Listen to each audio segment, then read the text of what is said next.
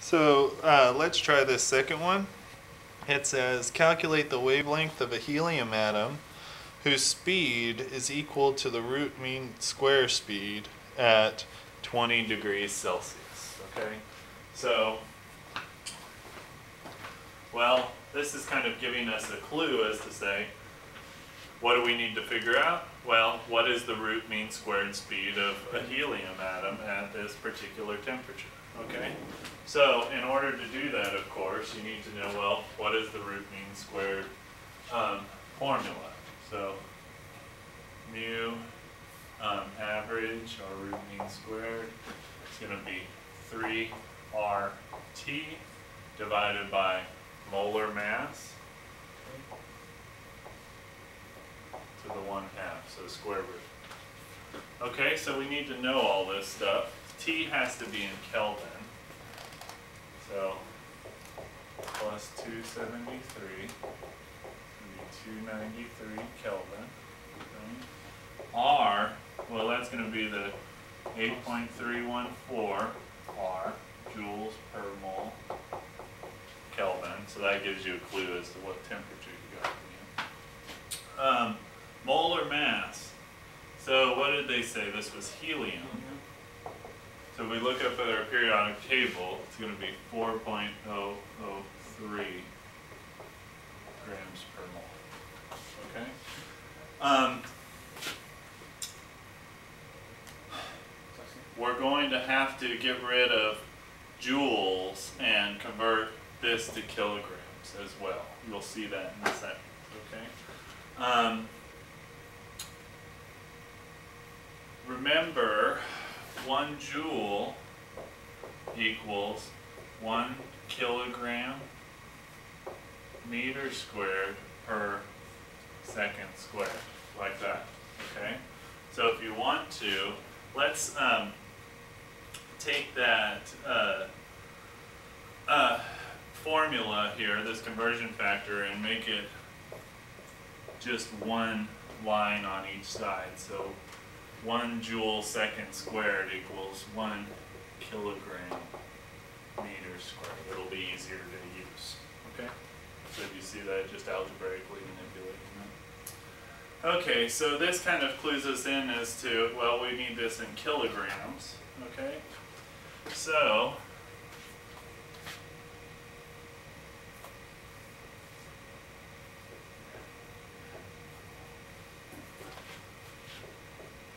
Well, let's just do that in the problem. We'll just do it. Okay? So,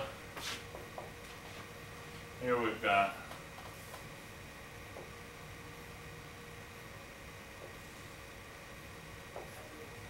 three.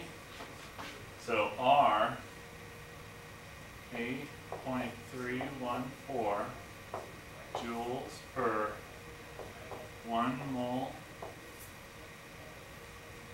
Kelvin. And then what did we say? Well, we've got to convert. Okay, so we want joules on the bottom. So one joule second squared, one kilogram meter squared, like that. Okay. T, 293 Kelvin, all divided by, well, what did we say? 4.003 grams per one mole. 1,000 grams per kilo. Okay? And then we're going to take that all up to the one half.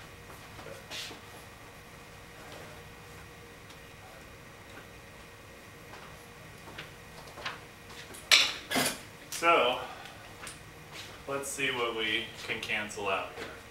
So, joules cancels with joules, Kelvin cancels with Kelvin, um, moles cancels with moles, grams cancels with grams, kilograms cancels with kilograms, and remember we're looking for uh, average velocity, right? So meters per second is a good unit, and that's what we got. Meters squared per second squared, and then we're going to take the square root of that, okay? So let's calculate this together.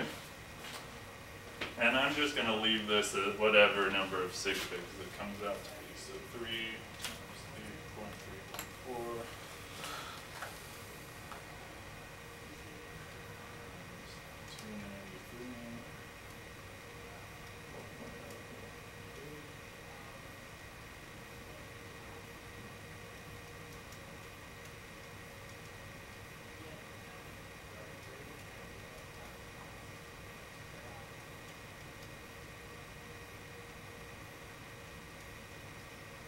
Okay, and then take the square root of that answer. And, so like I said, I'm gonna keep this to as many sig figs as I want, so thirteen fifty-one meters per second. Okay, so that's the root mean squared of a helium atom by itself, okay? So, now we have to, uh, use the de Broglie equation to figure out the wavelength from the information that we got. So do you remember the de Broglie equation? Okay, so it's um, lambda equals h over m, whoops, mu, like that, okay? So that's what we just figured out here. Does that make sense? So that's what we're going to put here. And what are we looking for? We're looking for this wavelength here. Okay?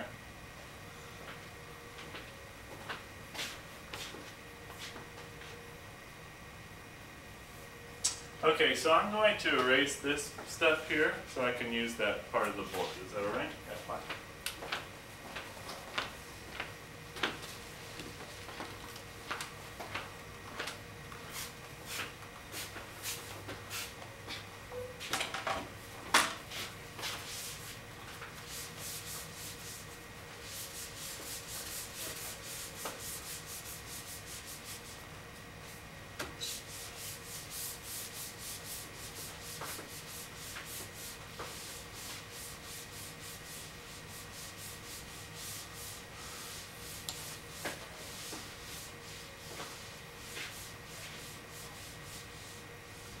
Can you remember that thirteen fifty-one? I'll write it somewhere else.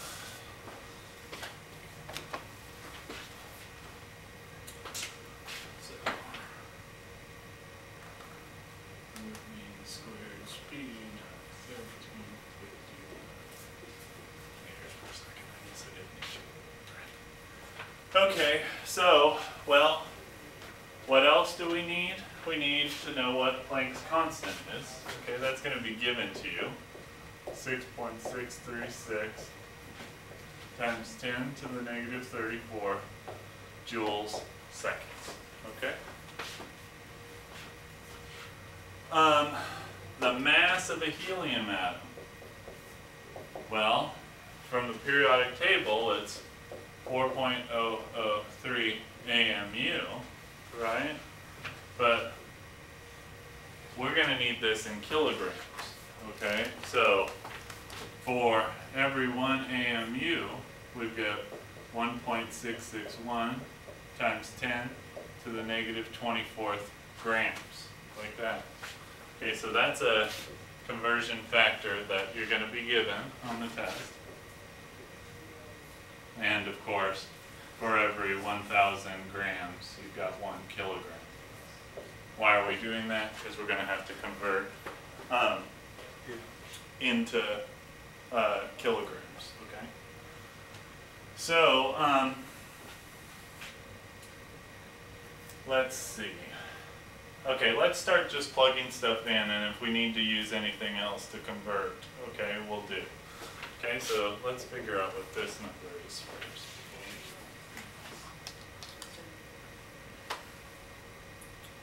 So, Store. So, okay, four point oh three.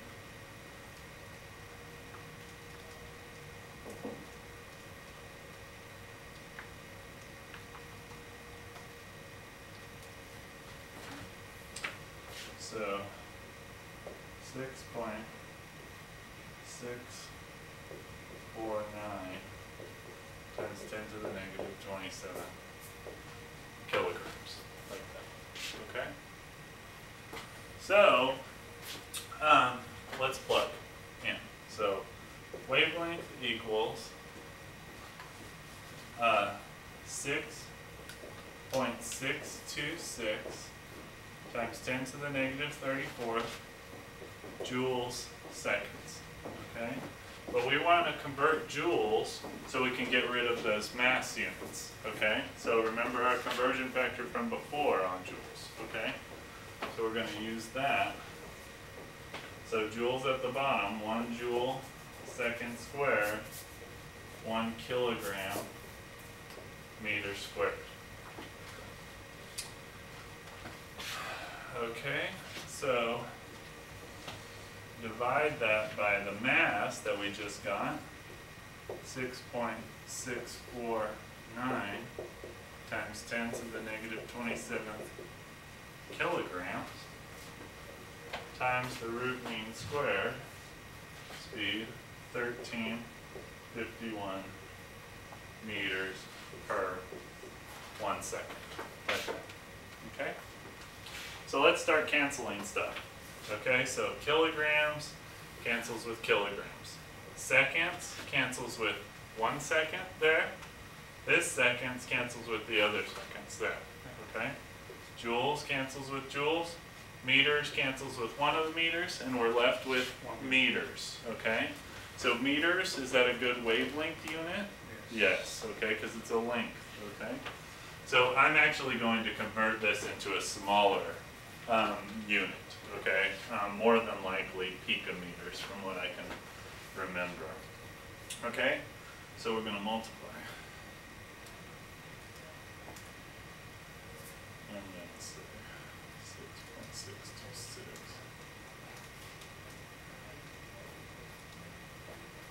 Okay? So I get seven point. So remember, this was actually the three sig figs, so that's what we're going to use. Seven point three eight times ten to the negative eleven meters, like that, okay? But let's convert this to picometers. So for every, um, one meter, you have one times ten to the twelfth picometers, like that. Okay, so cancel, cancel, and that's gonna turn this into seventy-three point eight picometers.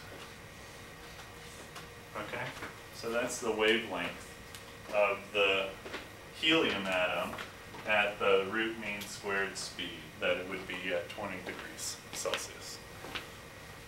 Are there any questions about that one? No. Okay, you just gotta go through these formulas, dot, dot, dot, dot? Cool, I'm gonna kill it. Yeah.